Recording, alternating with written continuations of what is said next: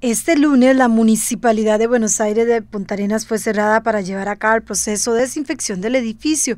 En este momento hay dos funcionarios positivos con el virus y cinco con órdenes sanitarias. Además, en este momento el Consejo Municipal tiene orden sanitaria debido a que una funcionaria que dio positivo estuvo con ellos el martes anterior en sesión municipal. En el ayuntamiento hacen un llamado a la población a cuidarse más.